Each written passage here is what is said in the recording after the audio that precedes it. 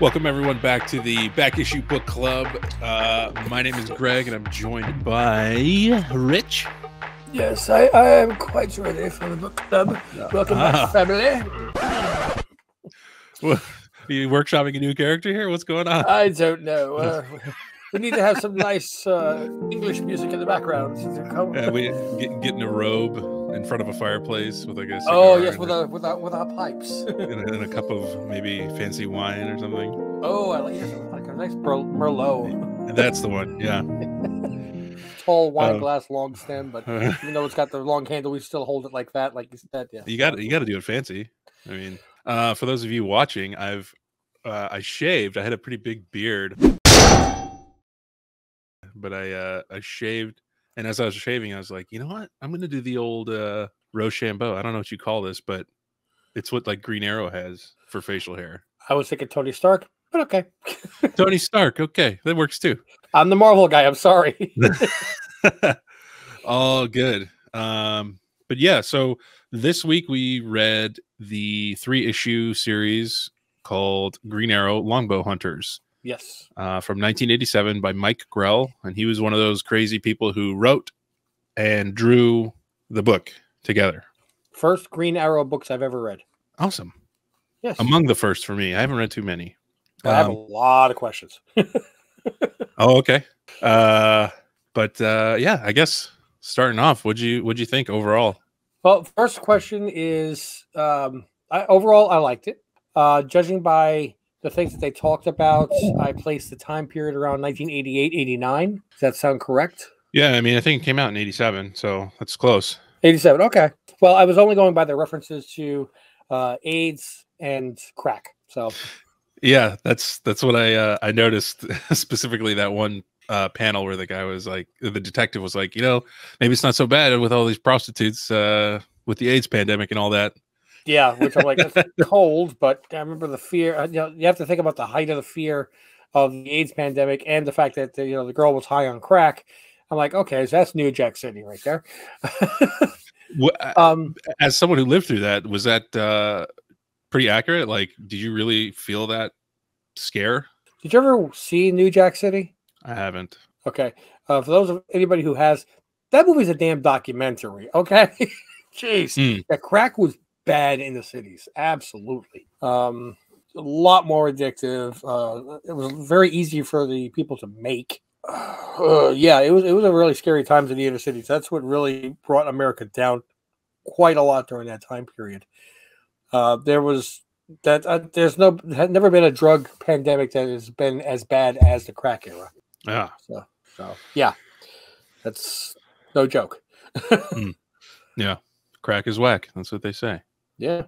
Well, I mean, the opening scene of uh, New Jack City throw, see, shows a couple of guys throwing another person off of the Queensboro Bridge, also known as the 59th Street Bridge.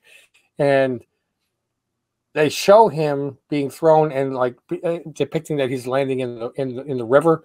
But I know the bridge so well because I lived one block from it Hmm. uh, that I'm like, now I know exactly where he's falling, and they can easily put an airbag there and catch him. Um, the housing project that's right underneath there is called Queensbridge, also known as the Bridge, which is one of the worst areas that I hung out there. So yeah, that's that was my hood. Gotcha. Well, um, so you had questions, Mhm. and they were when it was made, and then That- yeah, well, that was my first question. Um, is Green Arrow is that uh, how do I put this? Yeah, Green Arrow and uh, Dinah, Dina, Dinah. Yeah. Dinah. Are they? Uh, is Dinah uh, a, a long running character with him in the in the books? Yes, they have Okay. traditionally been a couple throughout most of uh, the history. Okay, and the costume that she put on was that uh, supposed to be like Black Canary or something? So that was a question that I had too. Um, I've never known Dinah to not have the blonde hair that she put on. Like Mhm. in all media that I've seen her in and read her in, she's just had the blonde hair. So I don't know what this uh, uh, pixie cut brunette situation was. Um, I don't know if it's canon or not, but um, that was a surprise for me. Was she a superhero? So yeah, um, I'll get into that when we're discussing a little bit later. But yes, she has the ability to uh, like scream like super loud, like enough to like cripple people. So it is Black So- Canary from uh, the Birds of Prey movie. Yes. Yeah, yeah, yeah. Okay. That's her. Okay. Yeah, I, I thought I recognized the costume. Um, is Green Arrow always been somebody that is uh, trying to rein himself in from actually mortally wounding people or you know or killing somebody? Because he seemed to be almost Wolverine-ish. Uh he as far as I am aware of, he's never been a f- like a fan of like actually murdering. Um doesn't mean it doesn't happen, but He did seem to have a dark side to him, though, which was very in contrast to the Robin Hood ide- idealism that he thought I thought he, he embraced. you talking about like when he was telling his story about on when he was on the island and how like he enjoyed the the kill Well, or whatever. Like even when uh, he was trying to to save the the elderly couple, and they were trying to describe him to the police, and they depicted him as being like Errol Flynn. Oh yeah, yeah. um, it seemed like you know he when he first took um, started training to become Green Arrow, he believed in something better, you know, a nobler cause, and, and you know, it- but the, his actions seemed to be in at least somewhat contrast to that. So, from what I've been able to tell, uh, Oliver Queen, Ollie, he is one of those other. He's another one of those like super rich guys turned uh, superhero, like Bruce Wayne, Tony Stark, those kinds of guys. Mhm. Um, and I think, I think Tony Stark's a pretty good comp because, uh, he- like you said, you know, after he got back, like he, he he donned the costume and like you know he he was like, "Damn, this is fun," and "Damn, it was fun." I think he said the line was. So, so I guess there's always been a little bit of a darker past um, where he relives because before he fell off the boat, which was which they talked about. Right, because um, he was drunk. right, he was like, uh, they said it was a wave, but I know I just probably blacked out and fell over. um, he was like, that's that's a nod to how irresponsible he was, like a irresponsible rich kid, basically. Very Tony Starkish, yeah. and the and the island changed him, much like the caves and the you know however it was Tony was captured, Right. Uh, changed him. I think it's a similar path. I don't know if that answers your question. I don't know No, if I even does. remember your question initially. Does he seem to have that darker side, or he doesn't seem to be as noble as I originally thought he was going to be? But this was a darker comic book series, you know. Than I It was. also. what do you Um, think of the art style? I liked the art style, and that was one of my big uh appreciations, and that's why I wanted to know what year it came out. Is we know that Frank Miller's Wolverine, which we talked about last week, had too much writing, too much text, and no appreciation for the reader's intelligence to figure things out within the artwork. Yeah. This would go five, six, seven panels without a single word and let you formulate your own storyline in your head. And I like that very much. You can come up with your own narrative, which was Yeah. really great. It's almost like watching a, your own little movie clip. Yeah. It's it was cool. Um, it almost looked like it was like colored pencil for a lot of it. It was really Mhm. it was really beautiful. It was really well done. I thought. Um, but yeah, it, it was. it- this is a mature read. You know, there's blood and arrows through eye sockets and stuff. So Yeah, but I mean, like the very first person that get the first girl that gets killed in book one, uh, like on the first on the second page. If you, I read the newspaper article and it says that her mutilated body uh, was found partially naked, and I'm like, they're showing the picture. She's stabbed. She's not mutilated. She's stabbed, and she's fully dressed. What are you talking about? yeah, So I didn't. I I don't know. I'm wondering if somebody had written that and drawn it a different way, and then uh, the editors go, "No, no, no, you can't draw it that. You know, like put some clothes on her. You know, we can't we can't show bare legs on her. Put some leggings or something." So, I'm pretty sure they show nipple and a little bit of Ollie's junk at some point when he's Yep. jumping out of the bathtub. oh, believe me, I I was broadcasting this onto you know from my phone. The digitally onto my 75 inch screen with a chair, literally like this close to the screen, so I could look at everything. yes, that was blurred junk, and I did not just need to see that on a 75 inch screen up close. You know, Uh, So I had a question. I don't know if you have it readily available to you. The the comic. issues. Yeah. I can pull it up real quick. I have my phone, and I'll be able to read it because I actually have glasses on. Ha ha ha. ha. Yeah. And I'm gonna be honest, like this book was was a little bit Talking Not- about book one, two, or three. uh book one, page ten. Six, eight, ten. Got it. You got it quicker than me. Wow. Hmm. Wow, wow, wee, wow. Come on. Got him holding the plant and her talking. Well, when when Oliver's talking to the cops, he's like, "You're not going to tell you nothing. They're not going to tell you nothing. I'm not going to tell you nothing." I don't understand. I don't understand that panel. Can you? It's the one with the castle at the top, and it's right after the cops come to pick up the girl who OD'd and bur- just ran through their window in the beginning. Yeah. Oh, oh, okay, okay, okay. It's the right of the three panels in the middle where it says she was Yeah, their that- friend, but they don't know nothing. She got some bad crack, but she didn't see nothing. She just had some bad luck, but it don't mean nothing. And that's Oliver saying all that. I don't know what he's what's he doing there. Uh, he's referring. I, I actually got this. He's referring to the cop saying he's going to do an investigation to see if he can find out what happened to this girl, Yeah. and he's telling him, you know what, you're going to run into people, and this is what they're going to say. You're to find one person that says, "Oh yeah, I was her friend, but I'm sorry, I don't know nothing." You're to have another person that says, "You know what, she got some bad crack, I don't know nothing." Another I person's going to say, "Yeah, she she just had some bad luck, man. It didn't mean nothing." Nobody's going to tell you anything. Everybody in you. this world is very apathetic. They don't care. They don't want to know. And that was, you know, another mentality that was very prevalent during the 80s as well. And that's why at the bottom there he's like pushing the guy aside. He's like, "F- "This, I'm going to figure this out." Essentially, Well, I- Myself. if you if, if you notice, he's kind of like referring to the pe- people, the three people behind him. and oh yeah, he's showing like them a in this thumb. film, like, yeah, yeah, it's, yeah, that's you see these right. People, this is the, this is what they're going to tell you You're right. Okay, that that clears it up for me. Okay, awesome. Okay, because that I read it. No, sense. Yeah, no, it- because I listen.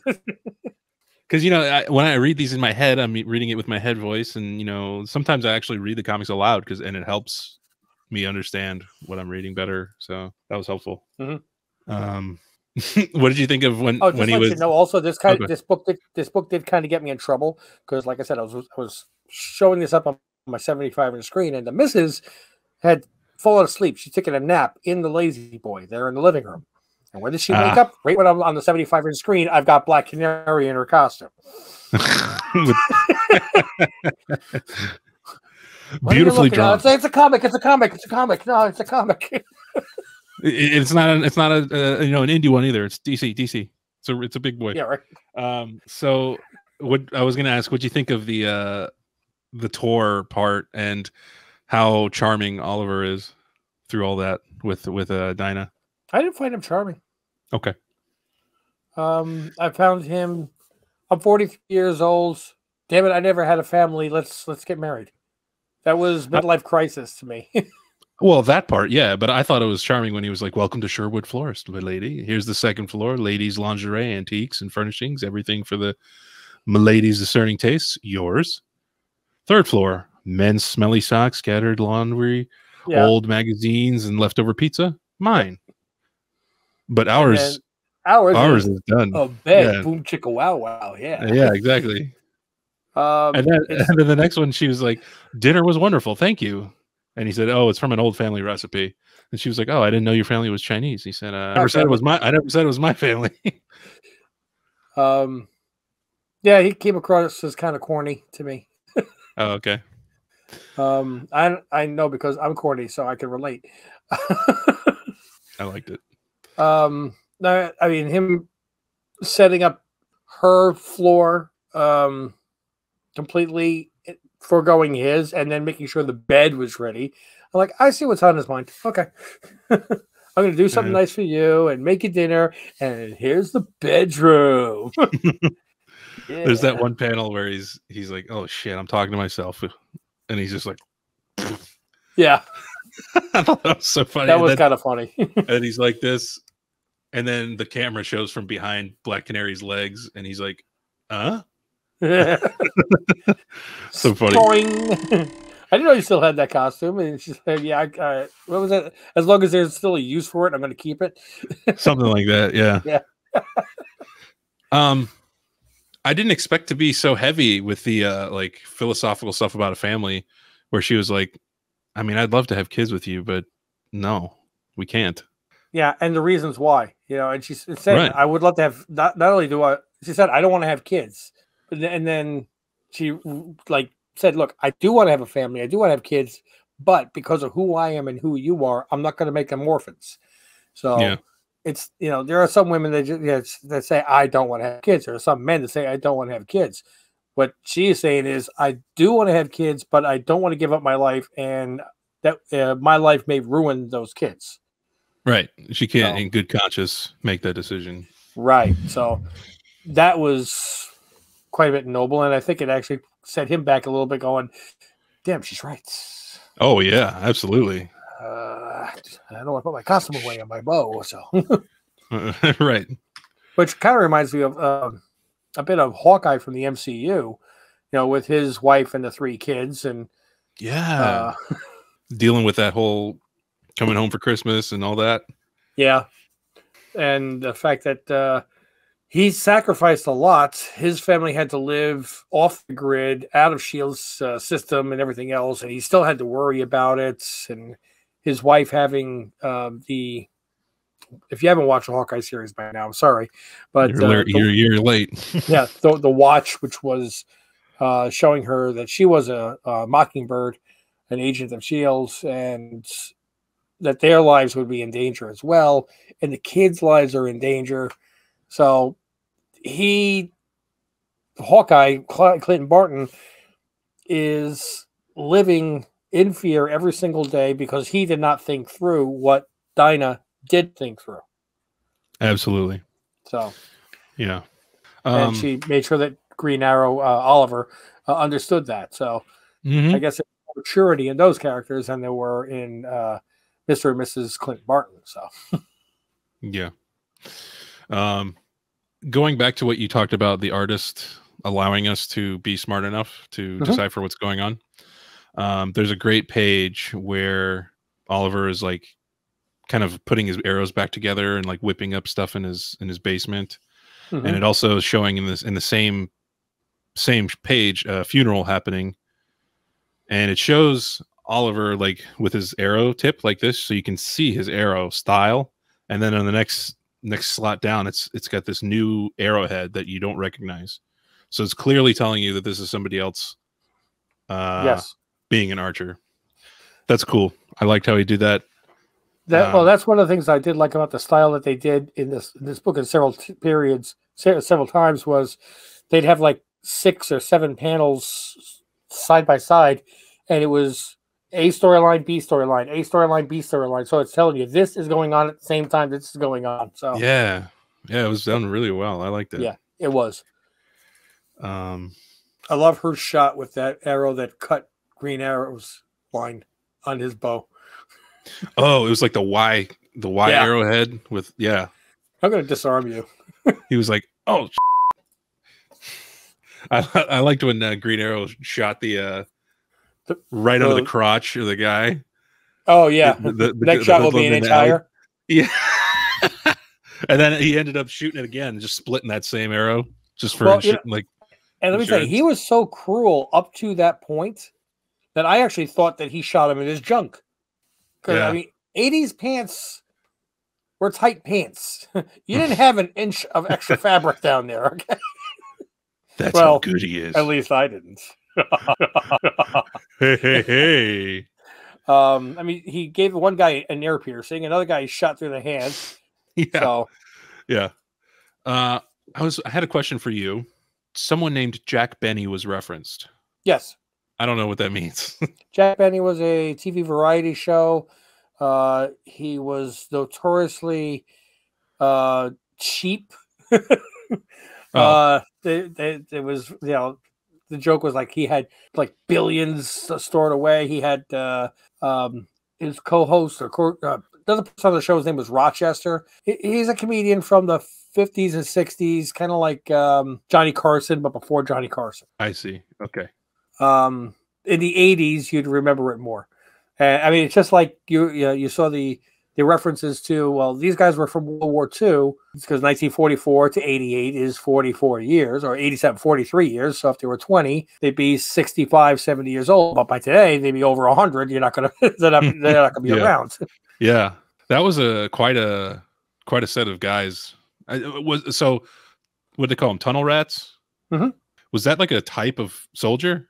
Uh, the Japanese, and then uh, the Japanese in World War II, the Koreans did this, the Vietnamese did this. They dug intricate series of tunnels underground where they could hide, come out almost like a guerrilla type of warfare.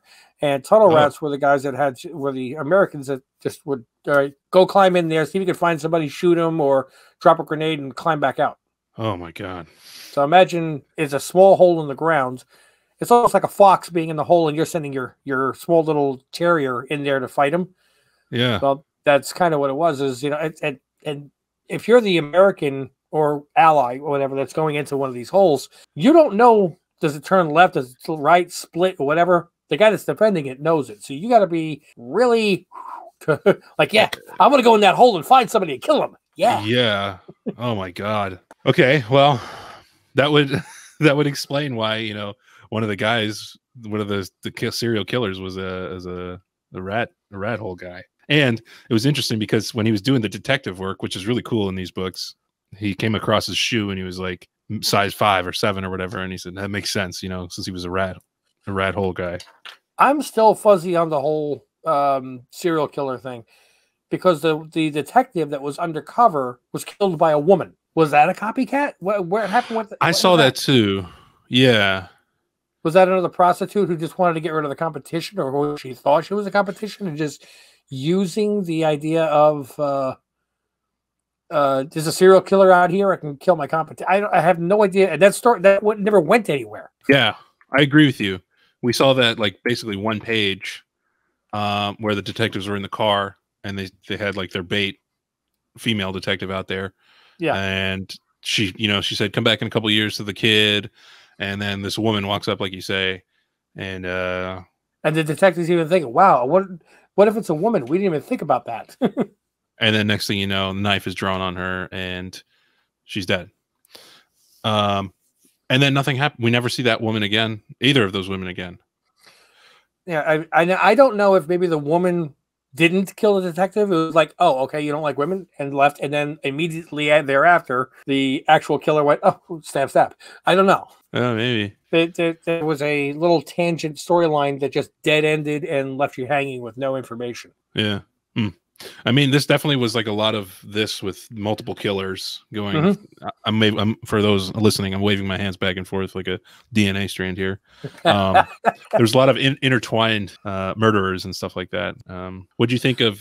So this is the second week in a row, one, two of two weeks so far, where we have got something with Japan in our comic books. Yeah, absolutely. what do you think of that whole yakuza uh, B plot?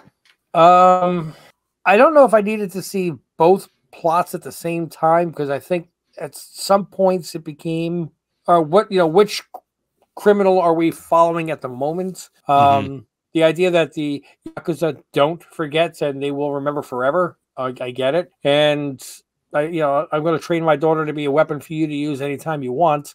Um, it was interesting, but I think it was a little on the shallow side it was good to get the character in, but um, yeah, we're going to give you two million dollars, and then oh, you didn't use it. Forty years later, we're going to send somebody to kill you. Well, they gave him the two million dollars, and then he got captured in the internment camps. Right. and then the the World War II guys who were erased from the records, They erased now- themselves, but yeah, right? Who are now the the the shipping magnates and all these old guys that are getting murdered. Uh, st- took that money from him, yeah, back in the fifties. right? But then he went back to Japan, committed suicide honorably, but they made his daughter grow up in there in in the yakuza and her only goal was to kill these guys for taking the money because her father's shame or something like that so it wasn't it wasn't shit i forgot where i was i forgot what you said that made me go onto this No, you've you've cleared that up. I did that make more Yeah. sense yeah, okay I think it would have been good with just that as the storyline and not with the prostitute serial killer at the same time. I think it could have been a stronger storyline with just one main plot going on. That's fair. The only thing that was beneficial was that the girl, um, when she did get to kill the one guy, at the same time she saw somebody else in trouble and killed the serial killer, showing Green Arrow. Well, maybe she's not totally bad. She, Right. she could kill the right people. she's still killing somebody. So, Yeah, kind of Punisher esque. uh, well, I mean, that's also kind of. I mean, Green Arrow at the very end when the uh, the guy goes to draw the gun on him, and she shoots him through the window. He's kind of like, "Yeah, cool. Talk to you later." That's true. Yeah, for Uh, somebody that's extremely rich like Oliver is, it was very shocking to see him at the very end going. And by the way, I got a bag of money. Well, so you're right. I will say this though, um, when he was telling his story in the first book, he was like, "It cost me. It was awesome. It was damn fun, like we were talking about before, until it cost me all of my money, all of my friends, and nearly cost me my son." And that's a that was a reference to Roy, who is on that iconic cover of Green Lantern, Green Arrow, shooting up heroin on his arm by Neal Adams. If you remember that cover, No, I don't. But I'm sure you'll put it in the video. So when I, I watch will the put it in the video. I'll be able to see it. Yeah, absolutely. You'll recognize it when you see it. Um, Cool. So I think at that point they were opening up a shop and you know trying to live normal, like normal people for the A most florist shop in a castle. Yeah, it's normal. Yeah, Sherwood Florist was a great Yes. name, in keeping with Robin Hood. Yeah. Uh, so I think that's why the money thing was mentioned and was worth mentioning. it um, still feels wrong for me to, to me that a hero would keep that. You know, It was weird. I yeah, I I I read it and I was like, did I miss like a bu- like a bubble or something? But uh yeah, he kept it. I I have to find out if this is canon or not.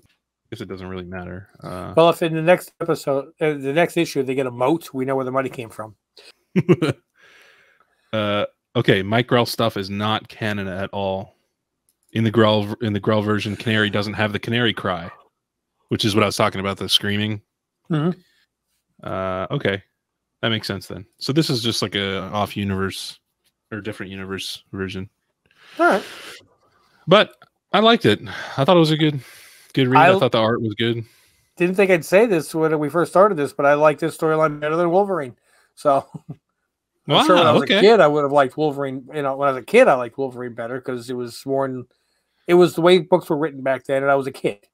Yeah. Uh, but being an adult, I considered the uh, Green Arrow series storyline to be more intelligently written, better drawn, um, more engrossing for the reader. I agree with you. Do you think it would hold up uh better today than the Wolverine did? And do you think it would Absolutely. hold, do you think it would hold up at all today? I do think it would hold up. They'd have to change some of the references because people are not going to know crack and AIDS. C- clearly, uh, Jack You Benny. Yeah, Jack Benny, yeah, exactly. Uh, they'd have to change the people, the old people, to be world, not World War II, but you know, like uh, Vietnam. Vietnam. You'd have to yeah. change a few of the references to be time um, appropriate. However, the style of the writing, the drawing, the way that they make the, the reader come up with their own narrative, I think is very important. And I do think that the storyline would do well today. Maybe not as well as it did back in 87, but it would still be an appreciated read by today's readers. Awesome. I, I I agree with you on uh, on all accounts. Cool. This is actually turning out to be a really fun little series, Greg. I want to thank you for coming up with the idea for this. Oh, I I have to be honest. I, I'm having a lot of fun doing it too. I mean, So- the idea of a comic book channel, you know, like reading comics. Hey, yeah, I know, right? oh, you got to twist my arm. No, no, I don't want to read comics. No. It's just it's just so easy to get caught up in the, the other the other parts, you know. And I'm not saying it's bad. It's just I wanted to read them. so, what do we have on tap for next week? Okay, so next week uh, it was voted on in the Patreon that we are going to read Stray Dogs numbers one through numbers Stray Dogs, the series from early 2021. It was a five issue series, and this is just the original Stray Dogs, not the two extra Stray Dog, Dog days. days. Dog days. Stray Dog Dog Days. Yeah. So the first week I I picked Wolverine. The second one you picked, right? Yep. Yeah. And then this one is Reader's Choice. I Yep. love it. Or, or Patreon's choice. Sorry. Yes. Um, Patreon's choice. So if you'd like to have a voice and, a, and a- the ability to vote, make sure you join our Patreon page. That'd be really cool too. We have lowered the- Absolutely. yeah, we lowered the cost on it to make sure that everybody has the opportunity to do so. Yeah, and simplified everything. Just it's just one tier now, and um, we've had a couple of suggestions in YouTube, which we are taking suggestions via YouTube, but then the people who are on our Patreon are going to actually vote in the polls of those suggestions of what we actually read next. So Cool. make sure you check those out, and also uh, while we're promoting, we got our two exclusive comic covers coming up. You want to tell them about that? Absolutely. I don't mind at all. We have Radiant Pink, which is a limited series from Image in the Supermassive universe. Uh, re, uh, we have our issue number one, which is going to be hitting Syndicate Comics on December 7th. This is a Deegan Prochorus beautiful cover. It really is. If you'd like to see it and order it, we've got the book, the book signed, the book in bundles, sketch art, all kinds of bundles at syndicatecomicsshop.com. For those of you on there? the well, yep, you can see it in the uh, in the video, but if you're on um, what do you call it, the where people just listen Podcast. podcast, thank you. I'll put it in the description of the podcast, so you'll be able to click on it there too. Oh, absolutely fantastic! But No. uh, yes, even if you go to uh, uh, Comic Geek Shop or My Comic Geek or whatever the heck that thing is called, um, they have League the of Comic Geeks. League of Comic Geeks. I know there's Yeah. some geeks in there. Yeah. Um, they have the preview page for this the book itself, and in the background they they picked what they thought was the best art to represent as a background picture, and it's of course Deacon Prochorus' art. Because I mean, seriously, I want to sell the book. Don't get me wrong, but no, if, if this book went to another store, I, I would tell still say this is the best cover. It is beautiful and limited to 500. And then one week after, on December 14th, Mark Millar has a new book coming out called Nightclub. Did it again. I'm getting better. Boom. I've been Nailed it. calling it Night Gang for so long. Uh, is the story of three teenagers that get bitten by vampires, and rather than just turn into uh, blood sucking people of the night, they use the powers of these vampires to fight crime. And this has already been optioned, if I'm not mistaken, by Netflix. So, woot woot. And another fantastic cover for this one. Uh, again, with uh, the cover, cover signed, bundles, sketches, all the uh, the bells and whistles, everything that you could possibly want at syndicatecomicsshop.com. So and this is a fun. This is a fun book because it's only a dollar ninety nine for the regular issues. That's kind of Mark Millar trying to prove that comics don't have to keep becoming expen- more expensive. and just so we can jump on the same bandwagon with Mark Millar, we uh, Syndicate Comics and most people generally charge twenty dollars for their exclusives because of the costs that are associated. On both of these books, they're fifteen dollars, and if you want to spend the twenty, you feel like doing it, it will come signed with a COA, which is a custom designed COA. We're not, we're pulling out all the stops on this and trying to give you a good quality product. So Yeah, I don't think I've seen that uh, price at any other uh, exclusive retailer since I've been looking, and they're all twenty at least, usually thirty with a signature. yeah, So and this will also we're going to have big uh, events on the 7th and the 10th on the 14th and the 17th uh, where we're going to have in-store events uh, um, trends are trash is going to be the seller for us on whatnot. We're going to have a big live event. You want to order it that way so you can see uh, deegan actually sign your book. That'd be fantastic too. We're there. Yeah. we're going to have a big part we want to have fun with this. That's the bottom line. So it's comics. Yep.